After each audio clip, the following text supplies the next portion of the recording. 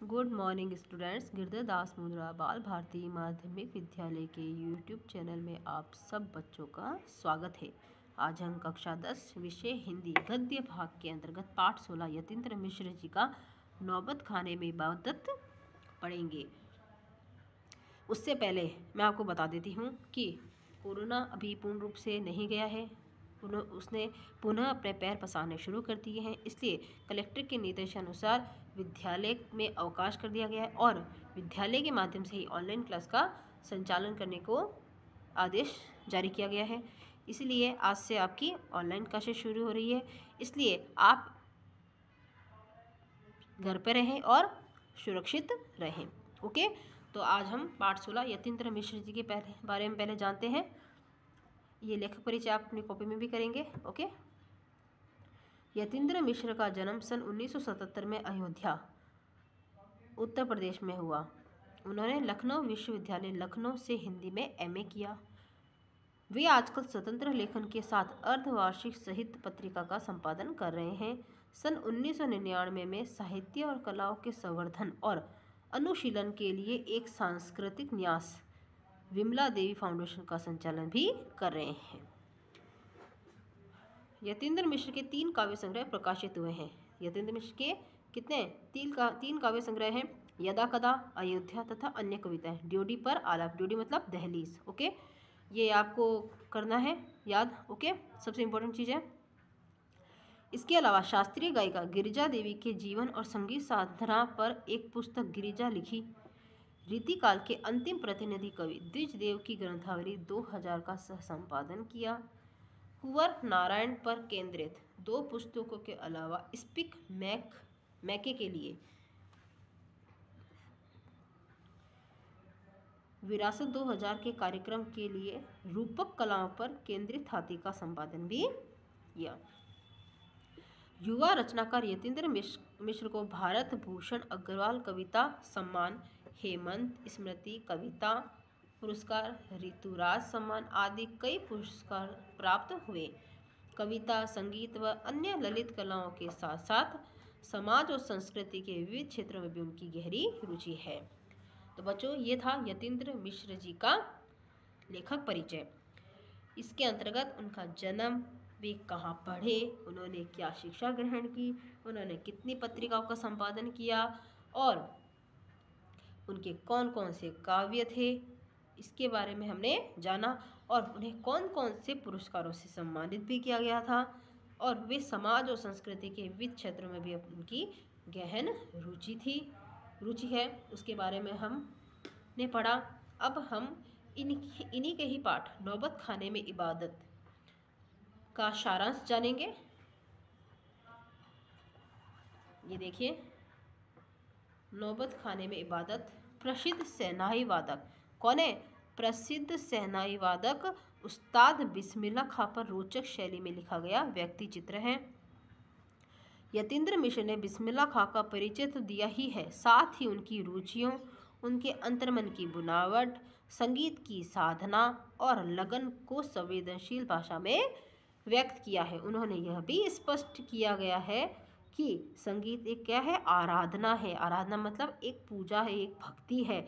इसका विधि विधान है। एक विधि होती है मतलब कि नियम होते हैं। इसका शास्त्र है। इस शास्त्र से परिचय आवश्यक है। सिर्फ़ परिचय ही नहीं, उसका अभ्यास भी ज़रूरी है। मतलब कि प्रैक्टिस भी उनकी बहुत ज़रूरी होती है और अभ्यास के लिए गुरु शिष्य परंपरा भी ज़रूरी है। पूर्ण तन्मयता ज़रूरी है मतलब कि एकदम भ्रम जाना ज़रूर बहुत ज़रूरी होता है। धैर्य ज़रूरी होती है। मंथन ज़रूरी है। इस लगन और धैर्य वह लगन और धैर्य बिस्मिल्ला खां में रहा है। मतलब कि बिस्मिल्ला खां जी एक ऐसे शहनाई वादक उस्ताद थे जिनको अपनी शहनाई वादक में उन्होंने प्रवीणता हासिल की थी, जिसके लिए उन्होंने क्या किया था? पूर्ण तन्मय, तन्मयता रखी थी, धैर्य रखा था और मंथन भी किया था। तभी अस्सी वर्ष की उम्र में भी उनकी साधना चलती रही। वे अस्सी वर्ष तक साधना करते रहे। यतीन्द्र मिश्र संगीत की शास्त्रीय परंपरा के गहरे जानकार थे, है, जानकार हैं। इस पाठ में उन, इसकी कई अनुगुंजे हैं जो पाठ को बार बार पढ़ने के लिए आमंत्रित करती है मतलब कि बुलाती है। भाषा सहज, प्रवाहमयी एवं तथा प्रसंगों और संदर्भों से भरी हुई है। तो बच्चों, इस पाठ के अंतर्गत हम सहनाई वादक उस्ताद बिस्मिल्ला खां के बारे में भी पढ़ेंगे। ठीक है? आगे देखते हैं, इस पाठ की तरफ़ चलते हैं। नौबत खाने में इबादत सबसे पहली बात, नौबत खाने क्या होता है? नौबत खाना वह स्थान है जिसके प्रवेश द्वार के सबसे ऊपर मंगल ध्वनि बजती रहती है। वह उसका स्थान होता है। ठीक है? इबादत मतलब प्रार्थना। सन 1916 से 1922 के आसपास की काशी। पंचगंगा घाट स्थित बालाजी मंदिर की ड्योडी मतलब दहलीज। डोडी का नौबत खाना और नौबत खाने से निकलने वाली मंगल ध्वनि। अमीरुद्दीन सिर्फ़ छः साल का है और बड़ा भाई शमशुद्दीन नौ साल का। अमीरुद्दीन को पता नहीं कि राग किस चिड़िया को कहते हैं। कौन है? एक तो अमीरुद्दीन है और शमशुद्दीन। और ये लोग हैं मामूजान वगैरह, जो बात बात पर भीम पलासी और मुल्तानी कहते रहते हैं। क्या वाजिब मतलब हो सकता है इन शब्दों का इस लिहाज से अभी उम्र नहीं है। अमीरुद्दीन की जान सके इन भारी शब्दों का वज़न कितना होगा। गाया इतना ज़रूर है, गोया इतना ज़रूर है कि अमीरुद्दीन व शमशुद्दीन के मामादय सादिक हुसैन, मामादय सादिक हुसैन तथा अली बख्श देश के जाने माने शहनाई वादक हैं। कौन है? अमरीदून, अमीरुद्दीन और शमशुद्दीन के जो मामा थे, वे सादिक हुसैन तथा अली बख्श देश के जाने माने क्या थे? शहनाई वादक हैं। विभिन्न रियासतों के दरबार में बजाने जाते रहते हैं, बजाने जाते रहते हैं। ये मतलब बहुत उस समय जो रियासत थी, उनके दरबार में वे जा जाकर बजाना गाते थे और बजाते थे तो उनको बहुत ही मन, ये इन सब का बहुत ज़्यादा मनोरंजन होता था इस शहनाई वाद, शहनाई से। रोज नामचे में बालाजी का मंदिर सबसे ऊपर आता था। रोज नामचे में बालाजी का मंदिर सबसे ऊपर आता है। हर दिन की शुरुआत वही ड्योडी पर होती है। मंदिर के विग्रहों को पता नहीं कितनी समझ है जो रोज बदल बदल कर मुल्तानी, कल्याण, ललित और कभी भैरव रागों को सुनते रहते हैं। ये जो भी नाम आए ना, मुल्तानी, कल्याण, ललित और कभी भैरव रागों को सुनते रहते हैं। ये सब क्या है? ये रागों के नाम है। ये खानदानी पेशा है, अली बख्श के घर का। उनके अब्बा जान भी यही ड्योडी पर शहनाई बजाते रहते हैं। अमीरुद्दीन का जन्म डुमराह, बिहार के एक संगीत प्रेमी परिवार में हुआ। पाँच छः वर्ष डुमराव में बिताकर वह नाना के घर ननिहाल काशी में आ गया है। डुमराव का इतिहास में कोई स्थान बनता हो, ऐसा नहीं लगा कभी भी। पर यह ज़रूर है कि शहनाई और डुमराव एक दूसरे के लिए उपयोगी हैं। शहनाई बजाने के लिए रीड का प्रयोग होता है। किसके लिए? रीड का प्रयोग होता है। रीड अंदर से पोली होती है जिसके सहारे शहनाई को फूका जाता है। रीड नरकट एक प्रकार की घास से बनाई जाती है। ये जो शहनाई होती है उसे उस वो क्या होती है? उस, उसके अंदर रीड होती है जो कि बहुत ही कोमल होती है। और इसमें रीड और नरकट होता है वो किससे वो एक प्रकार की घास से बनाई जाती है। जो डुमराव में मुख्यतः सोन नदी के किनारों पर पाई जाती है। कहाँ पाई जाती है? सोम नदी के किनारों पर पाई जाती है। इतनी ही महत्ता है। इस समय डुमराव की जिसके कारण शहनाई जैसा वाद्य बजता है, फिर अमीरुद्दीन जो हम सबके प्रिय हैं, अपने उस्ताद बिस्मिल्ला खां साहब हैं। अमीरुद्दीन का नाम ही उस्ताद बिस्मिल्ला खां है। उनका जन्म स्थान भी डुमराव ही है। इनके परदादा उस्ताद सलार हुसैन खां डुमराव निवासी थे। बिस्मिल्ला खां उस्ताद पैगर, पैगंबर बख्श खां और मिठान के छोटे साहबजादे हैं। बिस्मिल्ला खां उस्ताद पैगंबर बख्श खां और मिठान मिठान के छोटे साहबजादा हैं। अमीर की उम्र अभी चौदह साल है। मसलन बिस्मिल्ला खां की उम्र अभी चौदह साल, वही काशी है। वही पुराना बालाजी का मंदिर जहाँ बिस्मिल्ला खां को नौबत खाने, रियाज के लिए जाना पड़ता है। मगर एक रास्ता है बालाजी मंदिर तक जाने का। वह रास, यह रास्ता रसूलन बाई और बत्तुलन बाई के यहाँ से होकर जाता है। इस रास्ते से अमीरुद्दीन को जाना अच्छा लगता है। इस रास्ते न जाने कितने तरह के बोल बनाओ, कभी ठुमरी, कभी टप्पे, कभी दादरा के मार्फत ड्योडी तक पहुँचते रहते हैं। रसुलन और बतुलन जब गाती है, तब अमीरुद्दीन को खुशी मिलती है। अपने ढेरों साक्षात्कारों में बिस्मिल्लाह खान साहब ने स्वीकार किया है कि उन्हें अपने जीवन के आरंभिक दिनों में संगीत के प्रति आसक्ति इन्हीं गायिका बहनों को सुनकर मिली है। कौन थे रसुलन और बतुलन? एक प्रकार से उनकी अबोध उम्र में अनुभव की स्लेट पर संगीत प्रेरणा की वर्णमाला रसुलन बाई और बतुलन बाई ने उकेरी थी। वैदिक इतिहास में शहनाई का कोई उल्लेख नहीं मिलता। इसे संगीत शास्त्रा के अंतर्गत सुशीर वाद्य, वाद्यों में गिना जाता है। अरब देश में फूक कर बजाए जाने वाले वाद्य, जिसमें नाड़ी, नरकट या रीढ़ होती है, को नए बोलते हैं। क्या बोलते हैं? नए शहनाई को शाहनेय अर्थात सुशीर वाद्यों में शाह की उपाधि दी गई है। सोलहवीं शताब्दी के उत्तराध में तानसेन के द्वारा रची बंदिश, जो संगीत राग कल्पद्रुम से प्राप्त होती है। में शहनाई, मुरली, वंशी, श्रृंगी एवं मूर्छंग आदि का वर्णन आया है। शहनाई, मुरली, वंशी, श्रृंगी क्या होती है? श्रृंगी होती है जो सींग के द्वारा जो वाद्य यंत्र बना होता है। ये सारे वाद्य यंत्र हैं हमारे संगीत से संबंधित। अवधि पारंपरिक लोकगीतों एवं चेती में शहनाई का उल्लेख बार बार मिलता है। मंगल का परिवेश प्रतिष्ठित करने वाला यह वाद्य इन जगहों पर मांगलिक विधि विधानों के अवसर पर ही प्रयुक्त हुआ है। दक्षिण भारत के मंगल वाद्य नाग स्वरम की तरह शहनाई प्रभाती की मंगल ध्वनि का संपूरक है। शहनाई के इसी मंगल ध्वनि के नायक बिस्मिल्ला खां साहब अस्सी बरस से सुर मांग रहे हैं। सच्चे सुर की नेमत। अस्सी बरस की पाँचों वक्त वाली नमाज़ इसी सुर को पाने की प्रार्थना में खर्च हो जाती है। लाखों सज, सजदे इसी एक सच्चे सुर की इबादत में खुदा के आगे झुकते हैं। वे नमाज़ के बाद सजदे में गिड़गिड़ाते हैं। मेरे मालिक, एक सुर बख्श दे। सुर में वह तासीर पैदा कर दे कि आँखों से सच्चे मोती की तरह अनगढ़ आँसू निकल आए। अनगढ़ मतलब बहुत सारे। बिना जिसकी कोई गिनती ना हो, उनको यकीन है, कभी खुदा यूँ ही उन पर मेहरबान होगा और अपनी झोली से सुर का फल निकालकर उनकी ओर उछालेगा। फिर कहेगा ले जा अमरुद्दीन इसको खा ले और कर ले अपनी मुराद पूरी। अपने ऊहापोह से बचने के लिए, ऊहापोह मतलब उलझन के लिए हम स्वयं किसी शरण, किसी गुफा को खोजते हैं, जहाँ अपनी दुश्चिंताओं, दुर्बलताओं को छोड़ सकें और वहाँ से फिर अपने लिए एक नया तिलिस्म गढ़ सके मतलब रहस्य। हिरन अपनी ही महक से परेशान पूरे जंगल में उस वरदान को खोजता है, जिसकी गमक उसी में समाये मतलब कि गंध। अस्सी बरस से बिस्मिल्लाह खां यही सोचता है कि सातों सुरों को बरतने की तमीज़ उन्हें सलीके से अभी तक क्यों नहीं आई?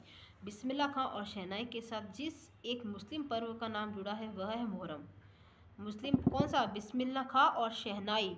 उसके साथ कौन सा मुस्लिम पर्व जुड़ा? है वह है मुहर्रम। मुहर्रम का महीना वह होता है जिसमें शिया मुसलमान हज़रत इमाम हुसैन एक, उनके कुछ वंशजों के प्रति अजादारी शोक मनाना मनाते हैं। पूरे दस दिनों का शोक है। वे बताते हैं कि उनके खानदान को कोई भी व्यक्ति मुहर्रम के दिनों में न तो शहनाई बजाता है, न ही किसी गाँव के संगीत के कार्यक्रम में शिरकत ही करता है। आठवीं तारीख उनके लिए खास महत्व की है। इस दिन खा साहब खड़े होकर शहनाई बजाते हैं। वह दाल मंडी में फाफ्तान के करीब आठ किलोमीटर की दूरी तक पैदल हो, रोते हुए नोहा बजाते, जाते हैं। इस दिन कोई राग नहीं बजता। राग रानियों की अदायका का निषेध है इस दिन। उनकी आँखें इमाम हुसैन और उनके परिवार के लोगों की शहादत में नम रहती है। आज़ादारी होती लाखों, हज़ारों सॉरी हज़ारों आँखें नम, हज़ारों बरस की परंपरा पुनर्जीवित, मुहर्रम संपन्न होता है। एक बड़े कलाकार का सहज मानवीय रूप ऐसे अवसर पर आसानी से दिख जाता है। मुहर्रम के गमजदा माहौल से अलग कभी कभी सुकून के क्षणों में वे अपनी जवानी के दिनों को याद करते हैं। वे अपने रियाज को कम, उन दिनों के अपने जुनून को अधिक याद करते हैं। अपने अब्बा जान और उस्ताद को कम पक्का महाल की कल सुम हलवाइन की कचौड़ी वाली दुकान व गीताबादी और सुलोचना को ज़्यादा याद करते हैं। कैसे सुलोचना उनकी पसंदीदा हीरोइन रही थी? बड़ी रहस्यमय मुस्कुराहट के साथ गालों पर चमक आ जाती और खां साहब की अनुभवी आँखें जल्दी ही खिस से हंस देने की ईश्वरीय कृपा आज भी बदस्तूर कायम है। बदस्तूर शब्द का अर्थ होता है तरीके से। इसी बाल सुलभ हँसी में कई यादें बंद वे जब उनका ज़िक्र करते हैं तब फिर उसी नैसर्गिक आनंद में आँखें चमक उठती हैं। नैसर्गिक मतलब प्राकृतिक या स्वाभाविक। अमीरुद्दीन तब सिर्फ़ चार साल का रहा होगा। छुपकर नाना को शहनाई बजाते हुए सुनता था। रियाज के बाद जब अपनी जगह से उठकर चले जाए, तब जाकर ढेरों छोटी बड़ी शहनाइयों की भीड़ से अपने नाना वाली शहनाई ढूंढता और एक एक शहनाई को फेंक कर खारिज करता जाता। सोचता, लगता है मीठी वाली शहनाई दादा कहीं और रखते हैं। जब मामू अली बख्श खां, जो उस्ताद भी थे, शहनाई बजाते हुए सम पर आए तब धड़ से एक पत्थर ज़मीन पर मारता था। सम पर आने की तमीज उन्हें बचपन में ही आ गई थी, मगर बच्चे को यह नहीं मालूम था कि दादा वहाँ करके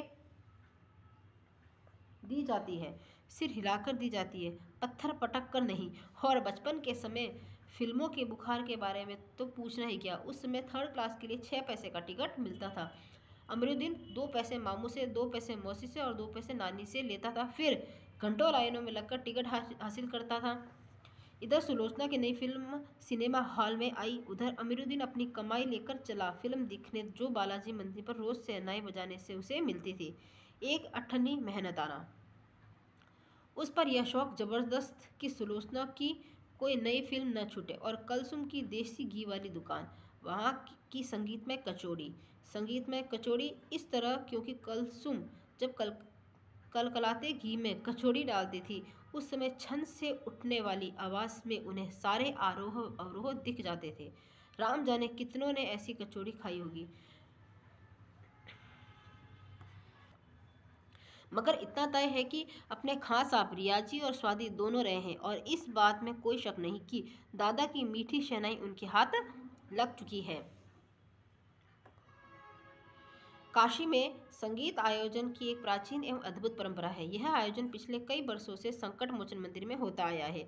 यह मंदिर शहर के दक्षिण में लंका पर स्थित है। वह हनुमान जयंती के अवसर पर यहाँ पाँचों दिनों तक शास्त्रीय एवं एवं उप शास्त्रीय गायन वादन की उत्कृष्ट सभा होती है। इसमें बिस्मिल्ला खां अवश्य रहते हैं। अपने मज़हब के प्रति अत्यधिक समर्पित उस्ताद बिस्मिल्ला खां की श्रद्धा काशी विश्वनाथ जी के प्रति भी अपार थी। वे जब भी काशी से बाहर रहते तब विश्वनाथ व बालाजी मंदिर की दिशा की ओर मुँह करके बैठते। थोड़ी देरी सही मगर उसी और शहनाई का प्याला घुमा दिया जाता है और भीतर की आस्था रीढ़ के माध्यम से बसती है। खास आपकी एक रीढ़ पंद्रह से बीस मिनट के अंदर गीली हो जाती है, तब वे दूसरी रीढ़ का इस्तेमाल लिया करते हैं। अक्सर कहते हैं, क्या करें मियाँ? ई काशी छोड़कर कहाँ जाए? गंगा मैया यहाँ, बाबा विश्वनाथ यहाँ, बालाजी का मंदिर यहाँ यहाँ हमारे खानदान की कई पुष्टों ने सहनाई बजाई है। हमारे नाना तो वही बालाजी मंदिर में बड़े प्रतिष्ठित सहनाई वाज कर चुके हैं। अब हम क्या करें? मरते दम तक न यह सहनाई छूटेगी, न काशी। जिन जिस जमी ज़मीन ने हमें तालीम दी है, जहाँ से अदब पाई है, वो कहाँ मिलेगी? शहनाई और काशी से बढ़कर कोई जन्नत नहीं। इस धरती पर हमारे लिए काशी संस्कृति की पाठशाला है। शास्त्रों में आनंद कानन के नाम से प्रतिष्ठित काशी में कलाधर हनुमान व नृत्य विश्वनाथ है। काशी में बिस्मिल्ला खां है। काशी में हज़ारों सालों का इतिहास है। इस, जिसमें पंडित कंठे महाराज हैं। विद्याधरी है। बड़े रामदास जी है। मौजूदीन खां है व इन रसिकों से उपरत होने वाला अपार जन समूह है। यह एक अलग काशी है, जिस, जिसकी अलग तहजीब है। अपनी बोली और अपने विशिष्ट लोग। इनके अपने उत्सव हैं, पर अपना गम, अपना सहरा बनना और अपना नोहा। आप यहाँ संगीत को भक्ति से, भक्ति को किसी भी धर्म के कलाकार से, कंजरी को चेती से, विश्वनाथ को विशालाक्षी से बिस्मिल्ला खां को गंगा द्वार से अलग करके नहीं देख सकते। अक्सर समारोह एवं उत्सवों में दुनिया कहती है वे बिस्मिल्ला खां का। वे बिस्मिल्ला खां है। वे बिस्मिल्ला खां का मतलब बिस्मिल्ला खां की शहनाई। शहनाई का तात्पर्य है बिस्मिल्ला खां का हाथ। हाथ से आशय इतना भर है कि बिस्मिल्ला खां की फूंक और शहनाई की जादुई आवाज़ का असर हमारे सी चढ़कर बोलने लगता है। शहनाई में सरगम भरा है। खां साहब को ताल मालूम है, राग मालूम है मालूम है। ऐसा नहीं कि बेताले जाएँगे। शहनाई में सात सुर लेकर निकल पड़े। शहनाई में परवदिगार गंगा मैया उस्ताद की नसीहत लेकर उतर पड़े। दुनिया कहती सुबहान अल्लाह तीस पर बिस्मिल्लाह कहते, अलम दुल्लाह छोटी छोटी ऊपर से मिलकर एक बड़ा आकार बनता। शहनाई का कर्तव्य शुरू होने लगता। बिस्मिल्लाह खां का संसार सुरीला होना शुरू हुआ। फूक में अजान की तासीर उतरती चली आई। देखते देखते शहनाई डेढ़ शतक के साज से दो शतक का साज बन, साजों की कतार में सरताज हो गई। अमरुद्दीन की शहनाई गूंज उठी। उस फकीर की दुआ लगी जिसने अमरुद्दीन से कहा, था बजा बजा। किसी दिन एक शिष्या ने डरते डरते खां साहब को टोका, बाबा, आप यह क्या करते हैं? इतनी प्रतिष्ठा है आपकी। अब तो आपको भारत रत्न भी मिल चुका है। यह फटी तहमत न पहना करे। मतलब कि पहटे हुए चीज़ें नहीं पहना करे आप। खां साहब मुस्कुराए। लाड से भरकर बोले दत्त पगली ई भारत रत्न हमको शहनाइया पे मिला है लुंगिया पे नहीं। तुम लोगों की तरह बनाओ। सिंगार देखते रहते तो उम्र ही बीत जाती। हो चुकती शहनाई।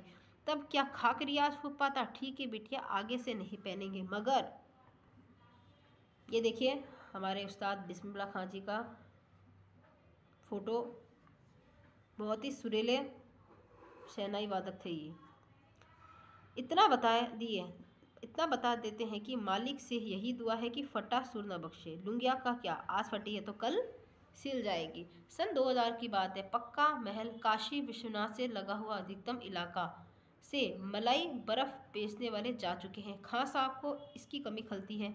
अब देसी घी में वह बात कहाँ और कहाँ वह कचौड़ी जलेबी। खां साहब को बड़ी शिद्दत से कमी खलती। अब संगतियों के लिए गायकों के मन में कोई आदर नहीं रहा। खां साहब अफसोस जताते हैं, अब घंटों रियाज को कौन पूछता है? हैरान है बिस्मिल्लाह खां। कहाँ वह कजली, चैती और अदब का ज़माना सचमुच हैरान करती है। काशी पक्का महल महल से, जैसे मलाई बर्फ़ गया। संगीत, साहित्य और अदब की बहुत सारी परंपराएँ लुप्त हो गई है। एक सच्चे सुर साधक और सामाजिक की भांति बिस्मिल्लाह खां साहब को इन सब की कमी खलती है। काशी में जिस तरह बाबा विश्वनाथ और बिस्मिल्लाह खां एक दूसरे के पूरक रहे हैं, उसी तरह मुहर्रम ताजिया और होली अबीर, गुलाल की गंगा, जमुनी संस्कृति भी एक दूसरे के पूरक रहे हैं। अभी जल्दी ही बहुत कुछ इतिहास बन चुका है। अभी आगे बहुत कुछ इतिहास बन जाएगा। फिर कुछ बचा है तो सिर्फ़ काशी में है। काशी आज भी संगीत के स्वर पर जगती है और उसी की थापों पर सोती है। काशी में मरण भी मंगल माना गया है। काशी आनंद कानन है।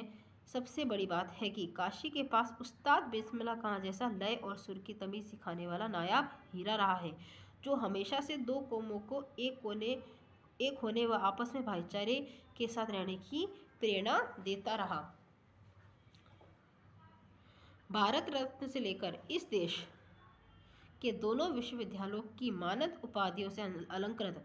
व संगीत, नाटक अकादमी पुरस्कार एवं पद्म विभूषण जैसे सम्मानों से नहीं, बल्कि अपनी अजेय संगीत यात्रा के लिए बिस्मिल्ला खां साहब भविष्य में हमेशा संगीत के नायक बने रहेंगे। नब्बे वर्ष की भरी पूरी आयु में 21 अगस्त 2006 को संगीत रसिकों की हार्दिक सभा से विदा हुए खां साहब की सबसे बड़ी देन हमें यही है।